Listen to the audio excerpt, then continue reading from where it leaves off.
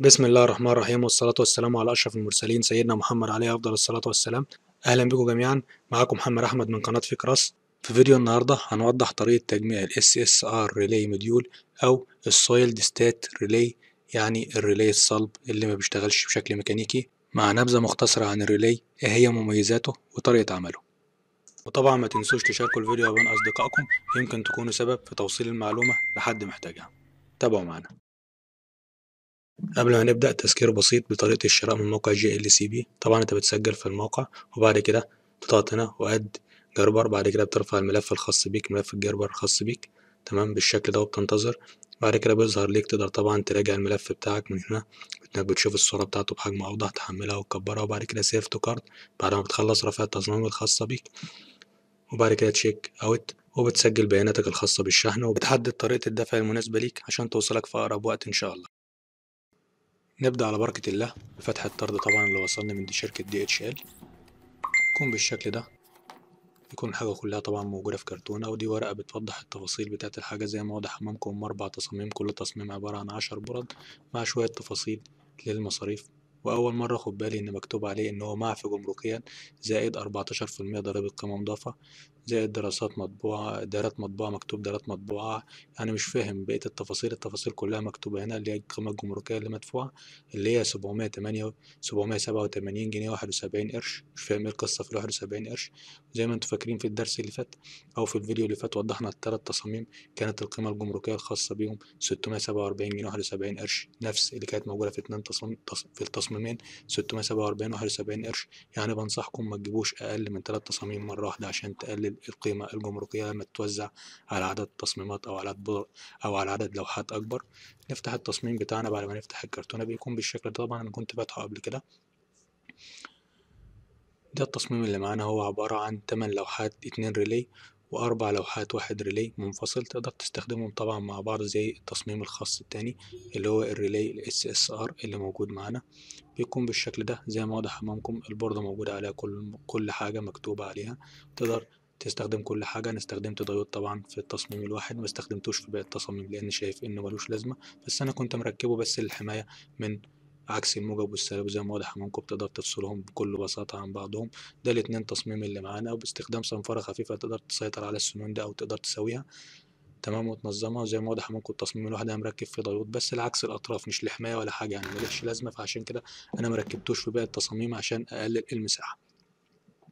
ده ال relay اللي إحنا اتعودنا عليه. بيشتغل بشكل ميكانيكي بيكون ال coil بتاعه ستة أمبير أو ستة فولت أو على حسب الفولت اللي أنت محتاجه في منه ستة وخمسة وتسعة واتناشر وأربعة وعشرين. ده ال relay اللي هنشتغل بيه النهاردة ال SSR اختصارا ل solid state relay أو ال relay الصلب يعني relay مفيش فيه حركة. ال coil بتاعه الخاص بيه أو المستحث الخاص فيه توضيحا خمسة فولت DC وبيشتغل على طرفين مفتاح مفيش فيه تلات أطراف زي ال relay العادي بتاعنا هو طرفين مفتاح واحد واتنين وتلاتة وأربعة واحد واتنين هما المفتاح وتلاتة وأربعة هما المستحث في حالة ال relay ده بيشتغل على خمسة فولت بس.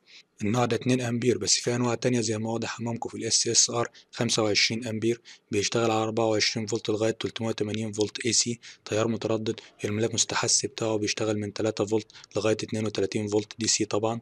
زي ما واضح أمامكم دي أطراف المستحث ودي أطراف المفتاح أو ال switch الخاص بيه.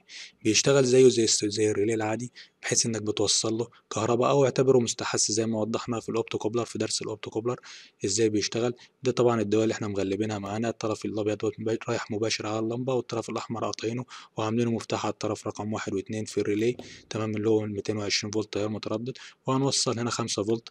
في أطراف المستحث في الموجب والسالب زي ما واضح أمامكم أربعة هو السالب وتلاتة هو الموجب بيشتغل معاك على يعني غير الريلي, الريلي الميكانيكي اللي معانا. تقدر توصل وتفصل يعني عدد لا نهائي الريلي أنا يعني بيشتغلش أكتر من مئة ألف مرة زي ما الشركات اللي بتنزله بتقول. والأنواع اللي موجودة عندنا أنواع رديئة جدا فالفصل والتشغيل بتكرار زي ما واضح أمامكم ده بيأثر على الريلي. وكمان لو أنت عملت كده معاه بيفصل منك في العشرة أمبير مثلا ما بيديكش يعني تكرار خمس ست مرات. ال coil الخاص أو المستحث الخاص بال relay ده اشتغل معايا من تلاتة وتسعة من عشرة فولت لخمسة واحد من عشرة فولت اشتغل معانا خرج الميتين وعشرين فولت معايا تمام. نرجع تاني ونجيب اللوحات بتاعتنا ال PCB بتاعتنا عشان نبدأ نركب ال relay هات عليها. في عندي مشكلة هنا وأنا اتعمدت إن أنا أسيبها معايا عشان في ناس سألتني في الموضوع ده كتير. الأطراف بتاعتي مش مضبوطة. ال relay أو ال SSR اللي موجود معايا على موقع Fritzing الأطراف بتاعته هو من نوع توشيبا الأطراف بتاعته مش زي الأطراف بتاعت ال relay ال SSR اللي موجود معايا في السوق زي ما واضح امامكم في طرف معايا مش مش مظبوط معايا.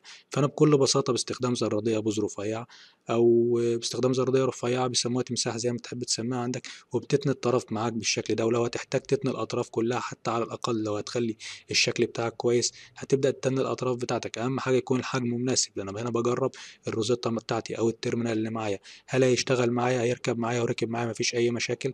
بالظبط زي ما بيقولوا. تمام؟ لأن حجم ال relay ده أكبر من حجم ال relay التوشيبا اللي موجود على موقع Fritzing أو على برنامج Fritzing تمام بنفس التفصيل أو بنفس النظام عملت ال relay التاني عوجت الطرف بتاعه وبعد كده ركبته وبنعدل الأطراف بحسب بحيث إن إحنا نخليها تركب معانا أو نعدلها نخليها في نص ال relay بحيث إنها تركب معانا وفي الحجم ده طبعا استحالة يلف معانا ويعمل معانا مشاكل. لحمنا أطراف ال relay زي ما واضح أمامكم بالشكل ده وأصبحوا بالشكل ده relay هات يعني أكنها موجودة أو معمولة للتصميم ده وركبت طبعا ال terminal اللي معايا وبعد كده يعني يفضل إنك تستخدم اتنين terminal بألوان مختلفة بحيث إنك تقدر تفرق ما بين الدخول والخروج لأن هنا هيكون معاك عدد الدخول نفس عدد الخروج فعشان تقدر تفرق ما بينهم يستحسن تستخدم ألوان تانية أو لو حبيت تعمل علبة توضح عليها في الخارج علبة بلاستيكية بحيث إنك توضح عليها في الخارج كل التوصيلات بتاعتك. بعد كده أنا استخدمت مقاومة 560 أوم وبعد كده أركب ال دي. طبعا الطرف المربع في البوردة أو في اللوحة بيكون معانا هو الطرف الموجب والبتاع ال LED والطرف الطويل في ال LED طبعا دايما بيكون معاك هو الموجب بتركبه في المربع في البوردة أو زي ما موضح على البوردة أنا موضح طبعا الطرف الموجب. وهنا معاك المقاومة بتركبها في المكان ده. وطبعا التصميم بيكون موجود معاك أسفل الفيديو تقدر تحمل التصميم وتطلبه من موقع JLCPCB أو تنفذه أنت براحتك زي ما تحب. ملف ال Gerber موجود أسفل الفيديو. وبعد كده هنبدأ نثبت البوردة في الحامل اللي معانا. الحامل ده كويس جدا ومريحني جدا يعني بدأت أشتغل عليه مريحني جدا. أنا جايبه من موقع Banggood زي ما واضح أمامكم مثبت البوردة بتاعتي بشكل كويس جدا. فيه لمبات بتنور ليك عشان تقدر تشتغل زي ما واضح أمامكم رابط الشراء بتاعه هيكون موجود أسفل الفيديو. من موقع Banggood تقدر تشتريه هيريحك جدا. يعني حامل ممتاز. أنا حبيت إن أنا أوضحها عشان الناس اللي هتسأل عليه. وبعد كده هنكمل اللحامات بتاعتنا. طبعا كنت عملت الحام في الروزتات عشان أثبتها لما تترفع أو تقدر تتني الأطراف بتاعتها لو كان متاح معك وبعد كده بنكمل اللحام بكل بساطة. أنا مسرع الجزئية دي بس اللحام بسيط جدا زي ما واضح امامكم يعني استخدام قصدير ومكوى زي ما وضحنا قبل كده درجة حرارتها مناسبة. خلصنا اللحامات لأن اللحامات هنا بسيطة جدا والعدد بسيط. وبعد كده بنقص تقوم تقوم بقص الأطراف الطويلة اللي موجودة معاك عشان إخواننا المغاربة. تقص الطول الموجود معاك. وهنا أصبح معانا الريلي الاتنين بالشكل ده والريلي الواحد بالشكل ده. أنا ما وضحتش إزاي تقفل ريلي واحد لأن نفس الفكرة وأقل. هنوضح إن شاء الله في فيديو منفصل الريلي الرباعي أو الأربع ريليهات مع بعض. بالشكل ده وهنبدأ نجرب. هوصل طبعا في طرف الموجب الموجب ومعايا الطرفين اللي هما الواحد والاتنين خاصين بالريلين وهجرب ال دي رقم واحد شغالة معايا وال دي رقم اتنين. طب أنا هنا استخدمت مقاومه واحدة هل لو أنا شغلت الاتنين مع بعض اللمبتين هيشتغلوا؟ هيشتغلوا بس بشرط واحد يكونوا ال دي اللي معاك يكونوا الاتنين نفس اللون. لو استخدمت لونين مختلفين اللون اللي بيستهلك كهرباء أقل هو اللي هيشتغل زي ما واضح امامكم الاتنين لما وصلتهم اشتغلوا مع بعض. بس لو أنا ركبت لونين مختلفين أنا هنا مركب أزرق وأحمر. طيب لو جربنا لو جربنا نشغلهم الاتنين مع بعض الأزرق والأحمر. الأحمر طبعا بيستهلك كهرباء أقل من الأزرق فطبعا هنشوف دلوقتي هعمل طبعا مشترك ما بينهم بالشكل ده. وهنجرب نوصل لهم الكهرباء. الموجب والسالب بتاعنا.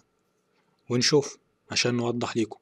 لما وصلت الموجب والسالب اللي اشتغل معانا الأحمر بس الأزرق ما اشتغلش لأن الأحمر بيستهلك كهرباء أقل لأن المقاومة بتعدي عدد الإلكترونات ما يقدرش يشغل الاثنين بقيمة ربع واط ما يقدرش يشغل الاثنين مع بعض.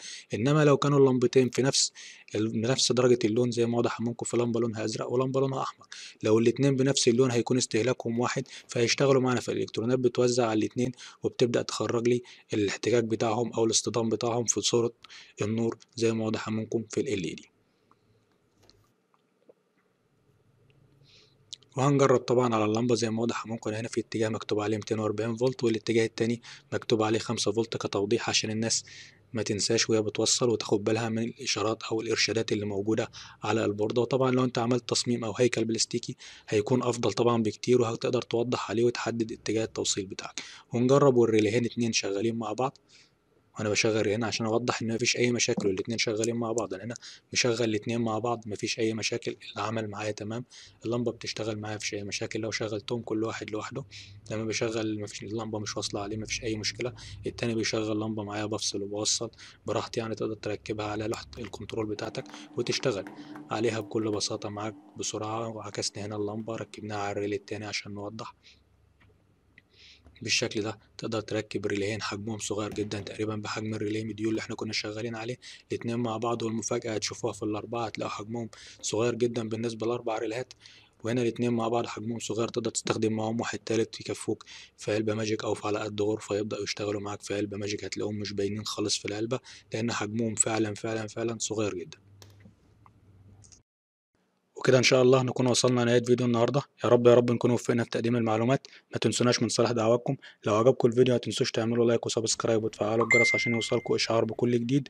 وما تنسوش تشوفوا الفيديوهات اللي فاتت وتعملوا مشاركة للفيديو مع أصدقائكم. والسلام عليكم ورحمة الله وبركاته.